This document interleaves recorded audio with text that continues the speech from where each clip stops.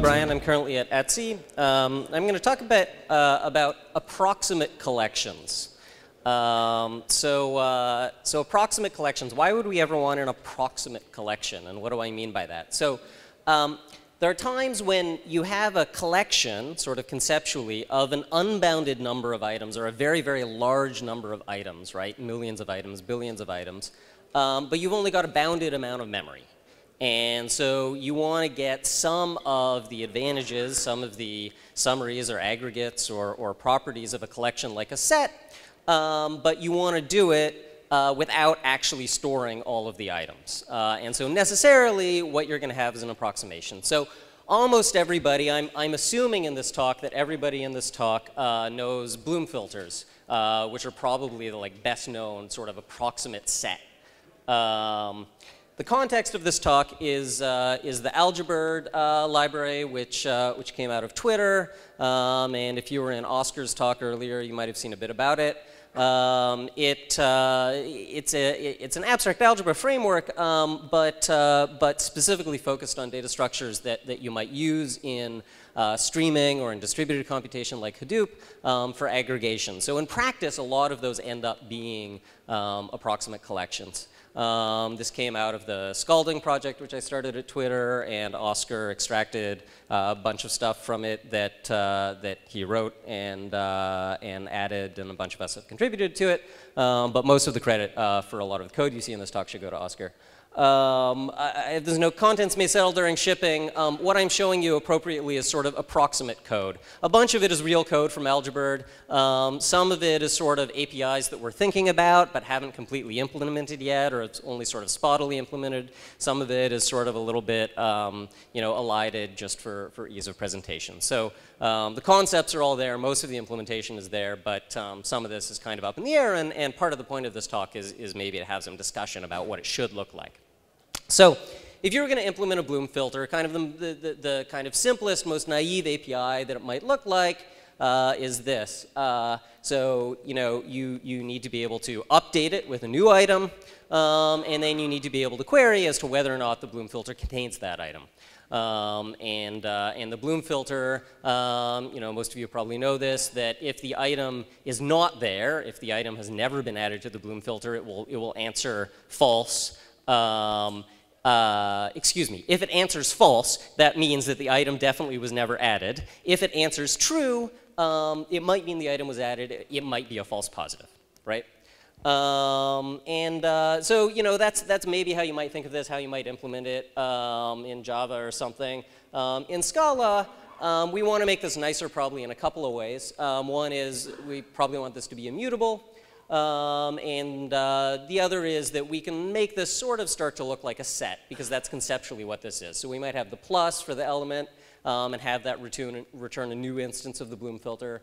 Um, and we might have some way to union two of these things, right? We might have plus plus for that. So you know, this thing and contains, right, which is also part of the set API in Scala. So this thing starts to look a little bit like a set, um, and it, it's worth asking, once this starts to look a little bit like a set, what else from set might we want to add here? So, you know, all of the stuff um, that makes set iterable is just totally out, right? Because the nature of a Bloom filter is that you do not have these elements, and so you cannot iterate through these elements. So we can't do, you know, for each map, flat map, any of that stuff, right? Um, can we do size, right? Because size is another thing that sets tend to have. Um, and it turns out that in a Bloom filter, you can do size. Um, there's a paper uh, that describes how you can estimate the number of items that have been added to a Bloom filter, basically just looking at how many bits have been set in the Bloom filter, right? And as long as it hasn't gotten too filled up, right, once it gets filled up past a certain point, your estimate's going to be really bad, but in general, you can actually get a pretty decent estimate. Um, and so, you know, when you say things like pretty decent estimate, uh, you know, it's natural to ask, like, how good is the estimate? And in fact, the paper gives bounds, right? And the bounds tend to be of this form, right? If I tell you the estimate that I have of the size, um, I can give you a sort of minimum and a maximum, right, of, of what I think the, the range is that the size is in fact going to be. And I can also give you a probability um, that the true size is within these bounds right? And that's sort of like, you know, if you see stats reported as like, you know, plus or minus 5% 19 times out of 20, right? It's the same pattern, right? I've got, a, I've got a bound, I've got a confidence bound, and then I've got a probability that the true value is in fact within that confidence bound. And so you can end up with an API that looks kind of like this, right? Um, and it turns out also that if you have an estimate of the size of a Bloom filter, um, one of the other things that you can do is you can estimate the false prob uh, or give a probability for the false positive rate, right? Um, and so that's useful because when you ask and, and you get back a true, you may want to know like how much can I rely on this true. So this API is starting to get a little bit clunky, I think. Um, you know, with all of these different things, asking different probabilities, asking different sizes, min size, max size.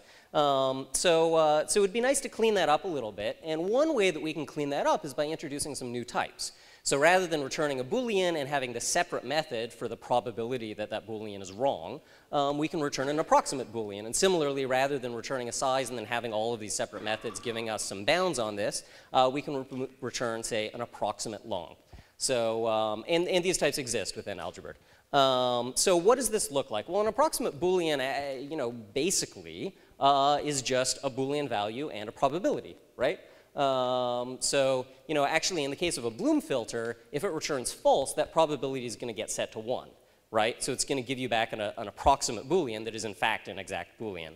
Um, but if it returns true, it's going to give you, you know, some probability, which is the same as that like probability of false positive that we saw. And now that you have these types, it's interesting to think about like what operations can we do on these types, right? So in the case of approximate Boolean, um, we can, for example, negate it. Um, and uh, the, the, first time that I saw this code, it actually threw me for a second because I kind of expected to invert the probability. Somehow in my head, I was like, oh, that should be 1 minus prob. But no, that's not right. If we know with some probability p that we have true, then it's that same probability p um, that the negation of that is false. Right? Um, and so that's all this is doing, right? It's giving you a new approximate Boolean uh, that uh, flips the bit and gives you, keeps the probability the same, right? Um, Things like and are also possible. It gets a little bit more uh, involved. Um, but if you sort of read through this code, what's going on is that um, if we're anding true with true, right, the approximate true we get back has the same probability as multiplying those two probabilities, right? Um, so it's true with the probability of, you know, their, their combined, their joint probability, right? Um, otherwise, it's false with the max of their two probabilities right? Um, so, you know, if, if, if I tell you that this one is like very probably false, and then I and that with something that's, that, that is approximately true, then it doesn't matter how approximate that true value is because I know the false is really, really good, right? Um, and, uh, and so that's, uh, excuse me, it's, it's, the, um, it's the maximum of the false probabilities, right? The true probabilities don't matter.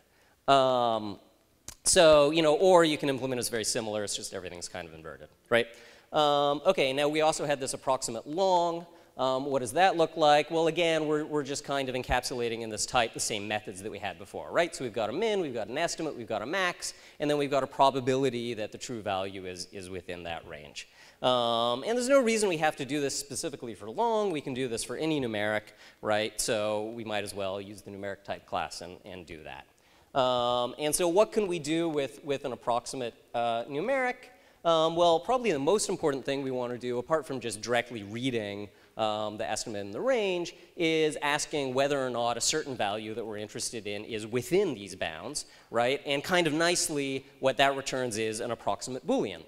Um, you know, what else might we want to do? Um, you know, we can add approximate numbers. We can, we can subtract approximate numbers. Um, I'm not showing the implementations because that's not really the point, but you can go look at the source code. Um, you can kind of imagine what the, what the manipulations on the probability would be. So, okay. Um, you know, can we generalize this, right? So Bloom filters do this. Um, but, uh, but do we, can we just think of a, of a general approximate set interface of which Bloom filter is simply one implementation, right? Um, and, and what would the other implementations be? So um, another one that, that we use a lot in Algebird is hyperloglog.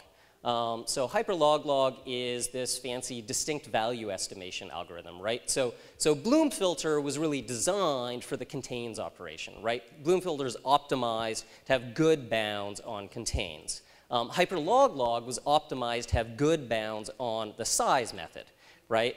Um, it can do contains. It does contains kind of jankily, which is that uh, if you have a hyperloglog and you want to know whether it contains something, you just add something to it and see whether the size changed, right? Um, which is not, you know, going to give you the best bounds, right? Um, but on the other hand, it has really good bounds on size. Um, so I think Oscar mentioned in his talk that if you're willing to give it, you know, like 15K or so, then you get under 1% error, um, which is pretty good. And I think if you give it 1K, you still get within like 2% error. So how does it work? Um, I'm not going to explain this talk how hyperloglog works, but I'm going to explain how one of the earlier in the family of these algorithms that, that came from the same people works.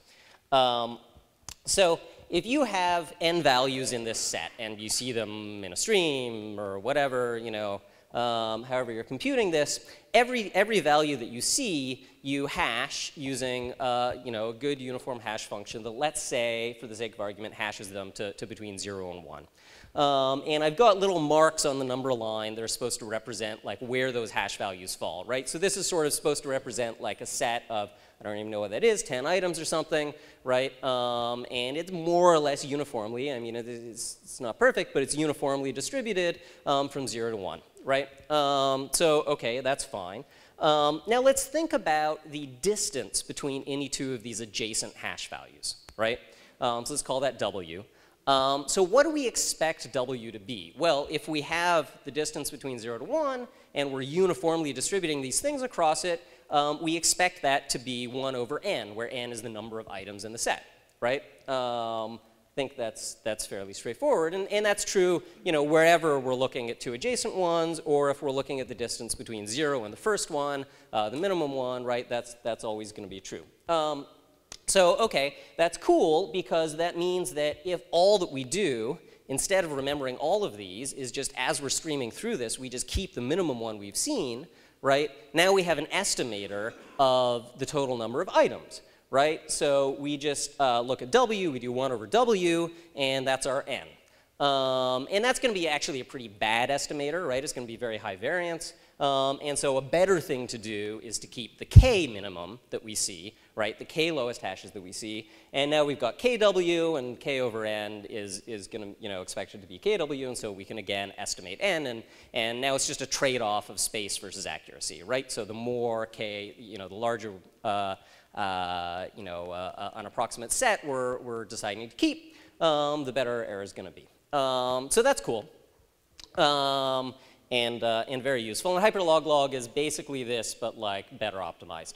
Um, so there's another one um, that we use in Algebird, uh, which is uh, which is minhash. Um, and uh, and minhash is optimized for a different purpose again, um, which is set similarity. So the assumption is you have a couple of these approximate sets, um, and you want to see how similar they are to each other. Um, so how does that work? Well, it actually starts out very similarly, um, which is to say that you have some hash function, and every item in the set, um, you run through this hash function, and you keep the lowest one, right? So, so far this looks almost exactly the same.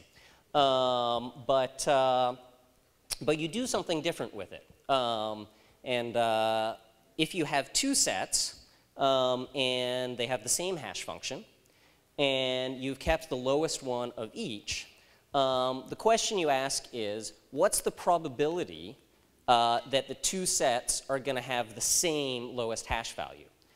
Um, and it turns out, and I don't think I want to walk through a proof of this, um, but hopefully people can kind of intuitively see this, that the probability that these two sets are going to have the same lowest value uh, is the same as the size of their intersection divided by the size of their union, right? So if you sort of, uh, you know, a hand wavy proof, right, is that if you sort of think of like combining these, um, and, and that's going to, you know, have as many elements as the size of the union, um, and then ask like what's the chance that that's going to change the lowest one, um, that's sort of the probability of you know how many of them intersect divided by how many of them union, right? Um, so anyway, that, that quantity, the size of the intersection divided by the size of the union, is actually a, a common similarity metric, um, which is Jaccard similarity, or 1 minus that is, is the Jaccard distance, which is the actual metric, right? Um, so that's cool, but you know, you're just going to get a binary one or zero out of this, right? So knowing that like, you know, these sets are, yes, they're similar with this probability, or no, they're not similar uh, with this probability is not actually that helpful. What you want is to know how similar they are. Um, and so what you do is you do this k times with k different hash functions right? So instead of just keeping, so the difference between this and the last one I was describing, right, is that the last one I was describing, you have one hash function and you keep the k lowest values. Here you have k hash functions and you keep the one lowest value for each of them, right? And then you can do this pairwise comparison where you look, okay, for this hash function, does the lowest value that I've kept match? For this hash function, does the lowest value that I've kept match? For this hash function. And you do that k times, um, and you see how many matches you get. And so the number of matches divided by k is your estimate of that probability, which is equal to the Jaccard similarity, right? Um, and so from that, you can get similarity. And so, okay, um, this sort of requires new extensions to our, to our approximate set API, right? Um, which is uh, uh, we want Jaccard similarity um, as an approximate double. And then actually, if you have their similarity, if you have their Jaccard similarity, and you have their size, um, you can compute the size of their intersection. And, uh, and I should have put the math up here, right? But if you think about it, if you take their, if you take them, you have a union operation here, so you can get the size of their union. Um, you have the Jaccard similarity, which is the size of the intersection over the size of the union. So you multiply those two things, and you end up with the size of the intersection, right? Um, so this is this weird kind of asymmetry between unions and intersections that, that you tend to see in these structures, which is that unions are sort of free in the sense that they're, they're lossless, right? You don't increase the error by and large by unioning two sets. And so you can kind of union all day long and take the size, right? Um, but intersection is kind of, you get one shot at it, basically right? Um, because your error is just going to keep going up. And so usually you, you, you, have an actual union operation right? You have a size operation, and then you have this intersection size operation. And sometimes, I didn't put code up here for it, but sometimes you can do like an n-way intersection, and that's a little bit better um, and a little bit more useful. But in general, this is, this is kind of um, what you get. So um, this part of the API I'm not like super happy about in that it would be, so for example, similarity and intersection size are related quantities, um, but some of these approximate sets are better at estimating one, and some of these approximate sets are better at estimating the other. And so you don't really want to get the user to um, just use one and do the multiplication themselves, because then you might end up with too high bounds. So, um, so there's that. Um, so that's approximate set stuff. Um, and, uh, and it would be nice also if there were approximate map um, approximate list kind of doesn't make sense because really lists what you want to do is iterate over them and again you can't iterate over them. But approximate map might make sense. We don't have yet anything that totally feels like an approximate map, but one thing that we do have is what you might call, um, and this name isn't in the code, but I just made it up for the talk, an approximate frequency set. Um, so what I mean by this is it's basically an approximate set. You're still adding elements to it right? But not only can you ask, does this set contain this element, you can say, how many times did I add this element to this set? And that can be really valuable, right? So you have an operation that's not quite get, but it's like get frequency or get count. Um, and again, that's going to return an approximate number. And uh, we only have one instance of this implemented. Uh, certainly there are other structures that would implement something like that, but that's the count min sketch. Um, and so I'll, I'll, I'll briefly describe how count min sketch works. So um, if you imagine having um, just, a, just a bunch of buckets, right? Um, a fixed size number of buckets, each of which is a counter. Uh, and each time an element comes in, uh, you have a hash function that's going to choose a bucket for that element, and you're going to increment the counter in that bucket, right? Um, and, uh, and so whatever, I have k, k hashes to that bucket, I'm going to increment, you know, from 4 that it was before to 5. Um, and now I want to know later on um, how many times have I seen k. Well, I use the same hash function. I get to the same bucket. I look it up. Um, now, is that the number of times I've seen k? I mean, no, probably not. Um, it is an upper bound on the number of times I've seen k, right? Because um, I have incremented that bucket at least as many times as I have seen k. But it's probably an, quite an overestimate because I have also no doubt seen other things, unless my number of buckets here is like on the same order as my number of items, in which case this is kind of pointless. Um, I have no doubt also seen other things that hash to that same bucket, and so that number is going to be too high. And so how do I solve this? Um, so there's a common pattern here, which is sort of the how do I solve this is basically we do this k times, right? So again, we do this k times. We have k different sets of buckets with k different hash functions, right? And every time the element comes through, we get the k different buckets and increment each of them. And then when we want to do the query, we look at the k different buckets that it hashes to and we take the minimum one, right? Um, because all of these are upper bounds. So now we have k different upper bounds. And so if we take the lowest of the k different upper bounds, then we get still an upper bound, but we get the best upper bound, right? And so we've managed to reduce our error um, by having more of these. And, uh, and so that's actually um, all the stuff that I've prepared, and I went through that a little quickly. Um, I'm, uh, I'm from Etsy. Um, my team um, is, uh, is a distributed team, entirely distributed team. We don't commute to the office, um, so this group doesn't commute. But um, if there are uh, any questions, uh, I'd like to take them. Yeah, so the question was, can I talk about some of the use cases for these various operators, right? Um, so a, a, you know, a, a, Bloom filter, so I'm going to be coming at this very much from the context of um, kind of Hadoop distributed computation, right? Um, a, a Bloom filter is, um, is used all over the place, right? Often when um, you want to know, so uh, you have a bunch of machines, you have data distributed over a bunch of them, um, you want to look up um, some value in each of them, and you have a Bloom filter that caches in memory sort of what values are on disk, and so you can quickly check in the Bloom filter to see whether or not it's worth looking in disk for this value. Um, or um, if you're doing a join, um, especially like a, a join of a very large table to a very small table.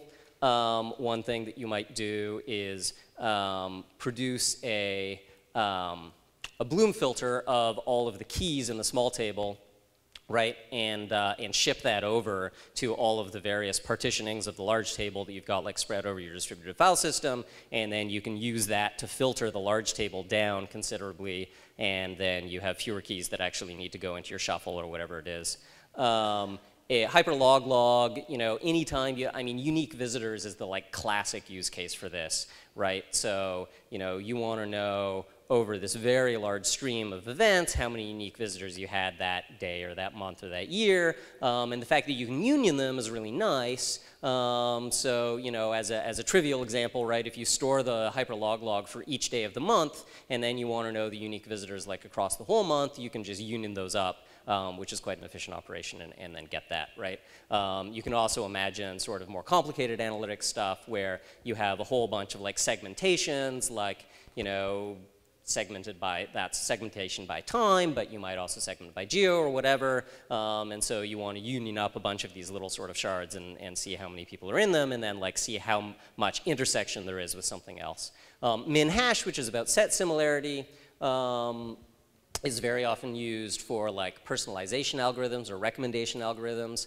Um, so, you know, uh, Google News uses this where uh, there's one set which is like the number of articles that I have liked and or read, and there's another set which is the number of articles that you have read, and they want to see how similar we are to each other, um, because if we're similar enough, then maybe if you read an article, they want to recommend it to me, right? Um, or, you know, other similar, similar similarity stuff, right? Count min sketch, one of the main applications of count min sketch is like a, a heavy hitters. Um, so streaming heavy hitters. So what that means is that if you, so the count min sketch bound is basically um, uh, the, the percentage uh, of the stream has a percentage error, right? So I can say with certain uh, error bounds that this item is, you know, makes up 6% of the items I've seen over the stream or whatever. And so what you might do is say, I want to record anytime um, an item is, is estimated to be greater than like 1% of my stream or 2% of my stream or something like that, I want to keep track of it. And so along with my count min sketch, I'll keep a, a list of sort of all of the items that have been estimated to be above that. Um, count min sketch is also very useful um, back to, to joins in a distributed context um, because um, estimating the frequency of various keys tells you a lot about what kind of join algorithm you might want to use. Um, and uh, you know how skewed it is. And so one of the things that um, that count min sketch gives you a very good estimate of is what sometimes people call the F2 or the second frequency moment, which is like the anyway, it's the dot product of the frequencies, but basically it's a measure of skew. Um, and so count min sketch is very good for that. Count min sketch is also uh, this gets really involved, but if you build up a tree of them, it's a way that you can estimate percentiles. So you can end up getting um, both range queries and you can get like medians or 90th percentiles or whatever, which tends to be a really hard thing to get a good estimate of in a distributed context um, or in a streaming context. But um, if you use like, you know, enough, um, basically if you use sort of log n um, count min sketches, it, given that you have n distinct values, then uh, you can get really good estimates on, on percentile stuff. Um, so, you know, those are the things that, that I've looked into using these for. I mean, I'm, I'm sure there's a bunch of other things that, that other people use them for. So uh, a cache is another kind of approximate set? Yep. With the other Inverted, false, right. Yeah. Would, um, is this API biased to the Bloom filter style of sets? Would a cache make sense Uh, here? it's not, no, right. So, so an, uh, an expiring cache, right, um, if it tells you that the thing is there, it's definitely there. Um, if you tells you that the thing is not there, it, uh, it might have just fallen out of cache, and, uh, and you would just use approximate Boolean, but your trues would have the probability set to 1, and your falses would have the probability set to something, right, which is the inverse of what a Bloom filter does, but, but the API would actually be exactly the same. Yeah, so there is a lack of intersection between intersection and union.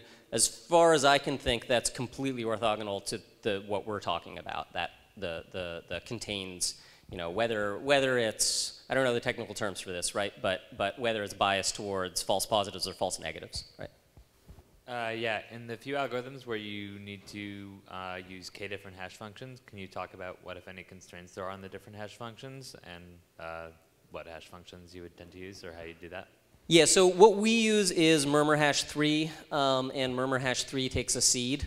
Um, and so the, the approach that we've been using anyway is um, use a fixed seed to initialize a random number generator, use that random number generator to generate k different seeds, use those k different seeds for k different murmur hash uh, variants. Um, I have like no formal, you know, justification for that. Um, it seems empirically to work fine. So um, Kirsch and Mitchum, uh, Kirsch and uh, uh, did a formal study where they showed that you can use two hash functions as long as they're linearly separable, and you can use linear combinations of those to get n hash functions with a decay of about one or two percent worth of overall efficiency in the algorithm. So if you're looking for a way to cut your hashing cost, that may save you a lot of work. Yeah, thank you. Why does approximate Boolean have a Boolean value? It's, it's just a probability.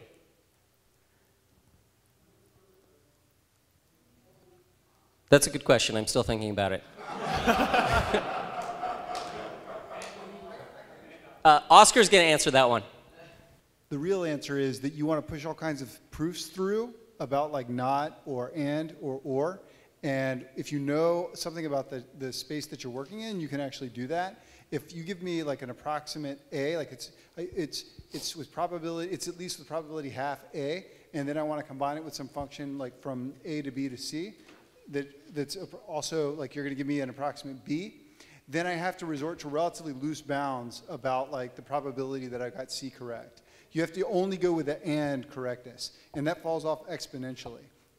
But the win that Avi showed, where you can, when you have cer certain facts about the way Booleans combine, that if you see an or, if, if either one of them are true, then you can, you can strengthen the bounds, and they don't necessarily fall off exponentially fast.